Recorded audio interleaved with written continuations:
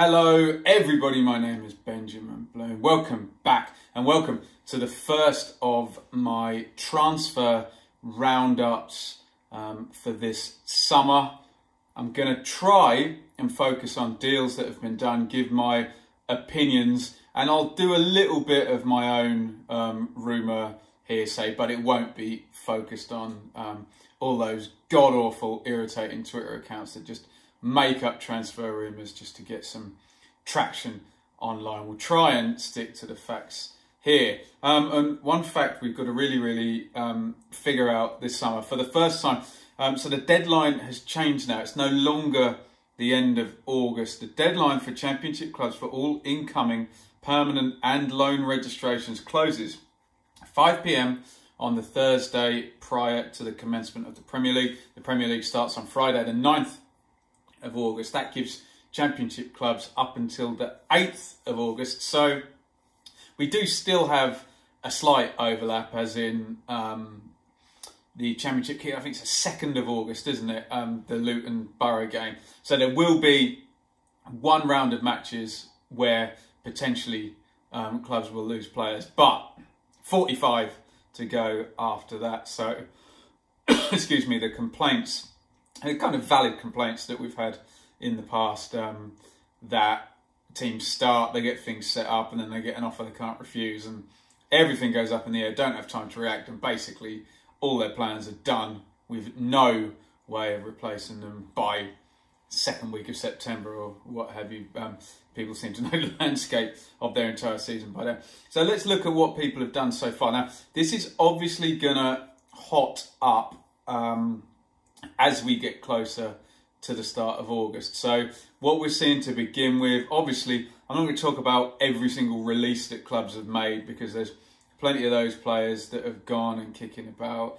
Um, I'm going to talk about the deals that have been done, and the domino effect has not yet started, but um, we think that the first um, cascade effect transfer has already happened at Bristol City.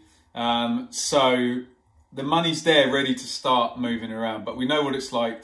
One is the butterfly effect, doesn't it? One transfer has to go to then push another to another to another, and money has to start moving about within the division, and it hasn't quite yet. So let's start. We'll go in alphabetical order here. So Barnsley so far, Brad Collins, goalkeeper, released by Chelsea. He's come in there.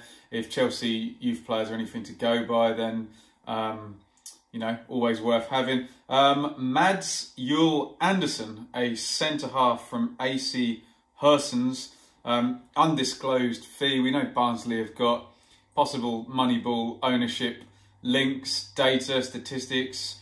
Whoop de whoop. Let's see how Mr. Andersen goes. But um, so a couple in there. Zeki Fryers leaves Barnsley left back to go out to Swindon. Um, Birmingham is an interesting one because we think this might have been something that um, pissed Gary Monk off before he left. Um, so the big one here is that Jota went out to Villa and the fee is undisclosed, but we think it was about 2 million plus Gary Gardner. And we also think that Mr. Jota was making um, the thick end of 40 grand a week. So this was more of a cost cutting exercise by Birmingham's Trillion Group ownership. Um, so Gardner in and Jota out. Jota, um, great player, really, really good player, but Monk had stopped using him, hadn't fit in there. Um, we don't know if Mr. Pep, the new manager in there, would have wanted him. Well, he doesn't get the choice anymore. He's got Gary Gardner, who is a sturdy championship centre midfielder. So you go from um, kind of, I don't know, a glass of Prosecco to a cup of tea, really, from Jota to Gary Gardner. But um, also Birmingham out, Greg Stewart to Rangers on a free. Uh, Beryly Lubala to Crawley, that one is undisclosed. So, um, see, there's a lot of clubs will just make these squads compact. Anyone they think it doesn't have a future there. Um, out they go. Blackburn, I like this one. Stuart Downing in to Blackburn. Uh, Tony Mowbray managed him when he was at Borough. Downing, great servant for Borough. Um, England player, Liverpool player, Aston Villa, absolute ton of experience. Um, depending on the deal they've done, wages wise, and how it's ratcheted, that could be a really good signing because um, I always feel you need there needs to be a player at your club that's I mean, there's always by definition a player that's been at the highest level and done the most, and they can pass stuff on and bring it down and in there. Um, I'm sure he'll make quite a lot of appearances actually. Um, Blackburn 4-1-4 won it or 4-4-1 won it rather um, a lot last year. So I don't know whether Downing goes in that 10 position where Dack's been so good or maybe sits out wide, but it'll give Mowbray um, an opportunity to do um, other stuff, maybe in a 4-2-3-1. We'll see how he uses him, but um, that type of player into what was a mid-table championship club um, looks like good work to me if they're not paying him a small fortune in wages, which I'm sure they would have been sensible about with Mowbray and charge. So I like that one. Uh, Brentford in Christian Nørgaard from Fiorentina, 3.6 million. And we know that Brentford do this every year. In comes someone who's been beautifully scouted by their amazing Scandinavian analytics people. And they normally get sold on for a boatload of cash later on. So we'll see how this guy does. Um, they did release uh, McLeod and McEachran, so there is spots there um, in that deep line um, midfield position. I know it went to 3-4-3 at the end of last season, so less 4-2-3-1 double pivot type thing. But um, I'm sure if that figure's correct, all my figures from Transfermarkt, um, by the way, the German website, which is normally pretty reliable, um, if that figure's correct, then he is playing, believe you me. Um, Bristol City, so this is the one that I've cited as the possible cascade domino transfer is Lloyd Kelly. It was done quite quickly. Um, Lloyd Kelly, the young English fullback, typical Bournemouth signing really. 13.32 million Transfermarkt um, reports. So that could be the one that starts the dominoes because, um, well, Bristol City run quite a tight ship. Steve Lansdown puts money in, but they've sold well recently. Bobby Reid's an example. Aden Flint last season, and then regenerated the squad. The interesting thing with Bristol City is we need to figure out what's going to happen with Adam Webster because um, that would very much change Lee Johnson's thinking as to who's coming in um, if both of those are gone. Um, so I think Bristol City is the one where the cascade starts, to be honest. Unless one of the parachute teams goes first, we'll see. But money in the coffers there, certainly for Bristol City to spend. Mo Eisa has also gone to Peterborough. Uh, Darragh MacAnthony tweeting, and that was seven figures. So there's another million in the pot there. Stefan Marinovic, the Aussie goalie, has gone back to Wellington. Out he goes. Um, Charlton, Patrick Bauer out to Preston, the most Preston signing ever. We'll talk about that when we get to Preston. Um, but a bit of a disappointing one for Charlton. Um, in the respect of he was their captain, he scored the winning goal at Wembley. So that one will need uh, replacing, and that's a championship club selling to a championship club as well. So um, we'll see what Charlton and Bowyer does. I know the ownership stuff's going to um, cause havoc with, with that down there at Charlton. We're pretty sure Mr. Aribo is going to be leaving Charlton fairly soon too, as well. That might give them some uh, money to get a decent championship level, maybe experienced one centre half in to replace Bauer. Um, Cardiff, not much yet. Um, Stuart O'Keefe's gone to Gillingham on a free. This is one where I expect big movers. I, I we know what Neil Warnock's like. Um, he always gives his team the best chance, and he always buys goal scorers as well. He often has just a litany of attacking players. Um, one of those kind of managers where it functions half a team defending and he just lets the four guys, I guess, you know, up top, whatever system's playing, kind of get on with it. Obviously, there's good players there already, um, the likes of Bobby Reid and Junior Hoilett have done it in this division before. Um, I'm expecting 45 million in on parachutes as well. Um, I'm expecting a large wad of money dropped on somebody that we know all about and that um, knows the championship well, Scott Hogan type player. Um, so wait and see on Cardiff Derby. Um, Graeme Shinnie in from Aberdeen. That one's been a long time coming. Looks like a bit of a link up with Derby and Aberdeen because Max Lowe was there on loan. And Craig Bryson, after eight years, has left to much fanfare on social media. He's gone back up to Scotland, excuse me. Um, Aberdeen's becoming quite a good proving ground for Championship players with Norwich using Aberdeen well, loaning Maddison there and taking McLean from there. Um, both those players will be in the Premier League next season, so um, definitely a kind of good link-up place for Championship teams. Um, Fulham, parachute team, Scott Parker, new manager, nothing in there as yet. We'll probably expect some outs there after all that splurge of cash. And the Sessegnon to Spurs thing just never ever goes away, does it? Um, so yeah, we'll see if that rears its head. Remember, Daniel Levy likes to make teams sweat until the last minute. Huddersfield have been um, quite mobile so far. This is our third new parachute team, our third £45 million parachute team. Um, Tommy Elphick in from Aston Villa on a free. Um, that's what I'd call a Steve Bruce type signing, isn't it? Um, where it's he knows the league, he's played for three or four different championship clubs. Within the, I'm sure I've seen him at Reading, Hull, and Villa in just the last probably 14 months or so. Elphick, so um, he goes straight in, knows exactly what he's doing in this league. Uh, Reece Brown has come in from Forest Green. I think his contract was up, but because of his age, they paid compensation. Josh Koroma from Leyton Orient, that's undisclosed. So, kind of interesting signings because he's gone for one proven championship and two very unproven.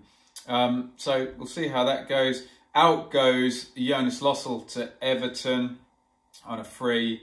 Chris Löwe to Dresden, undisclosed.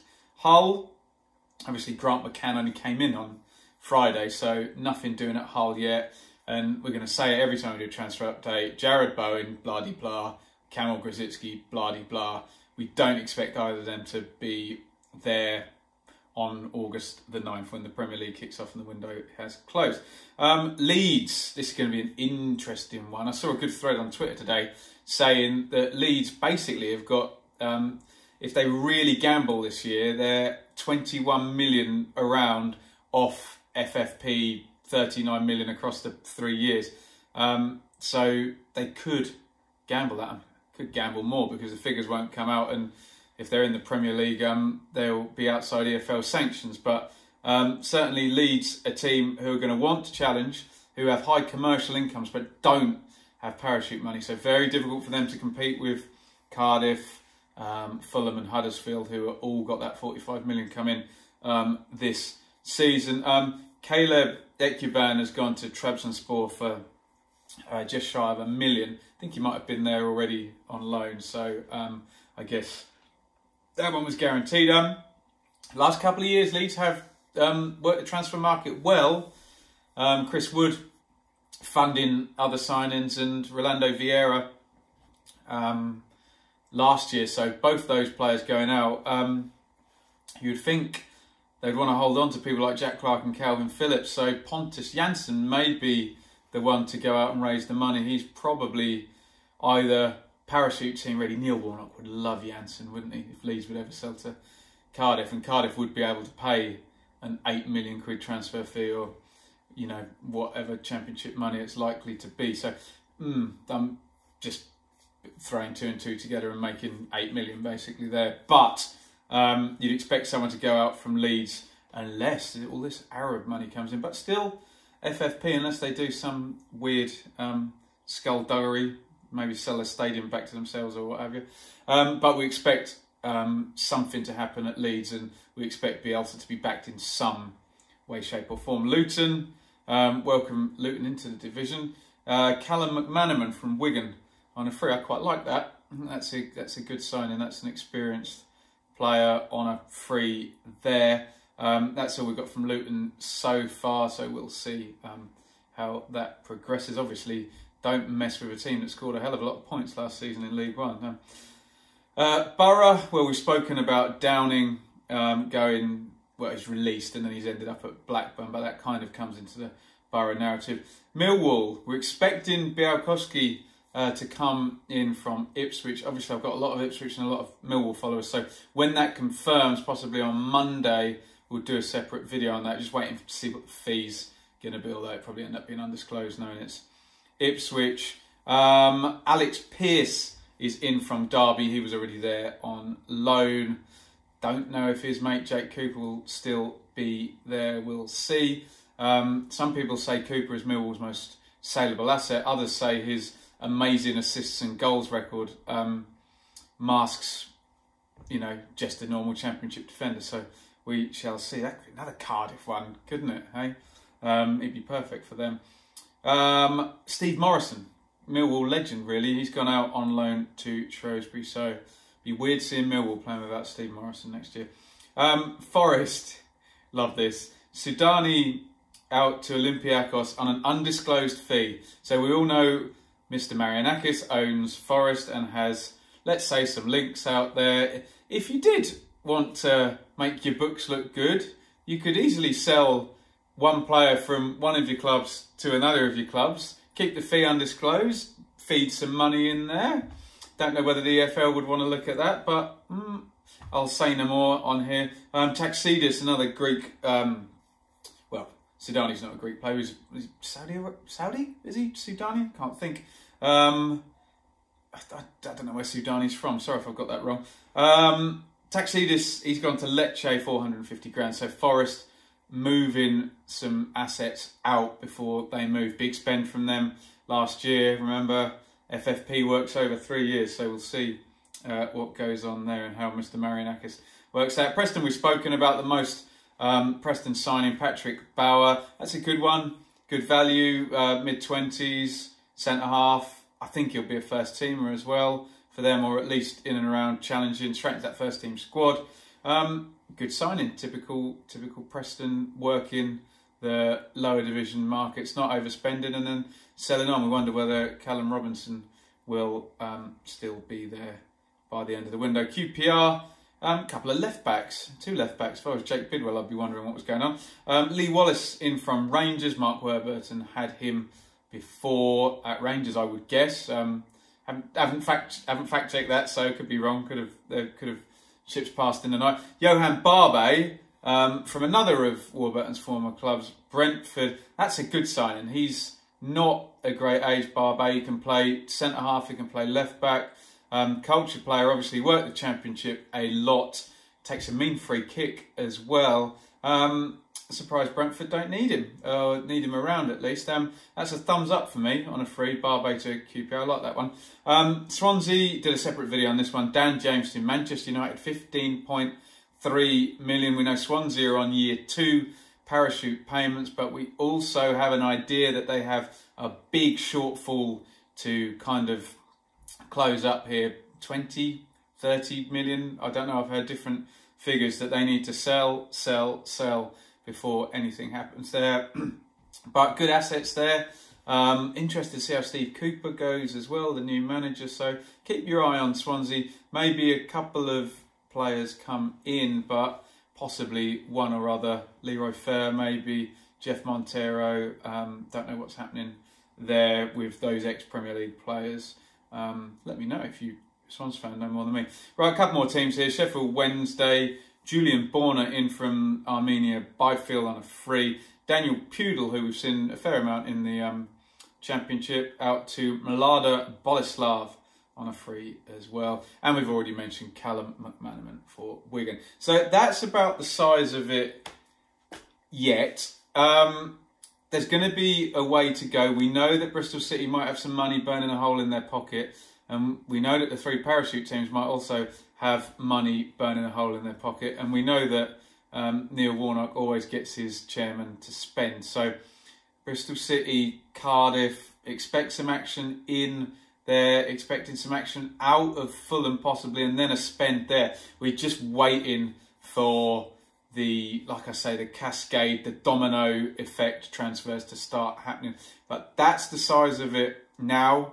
Um, you see the you see the teams that are not going to spend kind of already starting the likes of Preston bringing in Bauer. You might expect one or two more, and they'll be done, and away they go again for next season. But um, this is going to go all the way up to the um, 9th of August, and where I will promise you now I'll do a final roundup where we'll go through everything and decide who's had the best window. Let me know what you think. Let me know who you think's going where, who you think's going to spend, who you think's going to sell, and um, how this is all going to pan out. Thank you for watching. Um, planning to do one of these, I don't know, every couple of weeks or so as the transfers drip through. Um, let me know how often you want them and what you'd like to see me talk about. In these transfer roundups, there should be three or four by the time we get through to August the 10th. Anyway, I've gone 20 minutes, so I will say thank you for watching. Uh, follow me on Twitter at Benjamin Bloom. Hit the subscribe button, hit the bell, regular notifications. I'm sure I've said this right the way through the close season. There'll be some content soon, and every time we have a firing, an appointment, there's Bialkowski to talk about soon. There's maybe something at Derby and Chelsea happening soon. Um, so I'm sure I'll be back with some content very, very soon. And then the friendlies will be underway middle of July. And off we go. Thanks for watching. See you very soon. Over and out.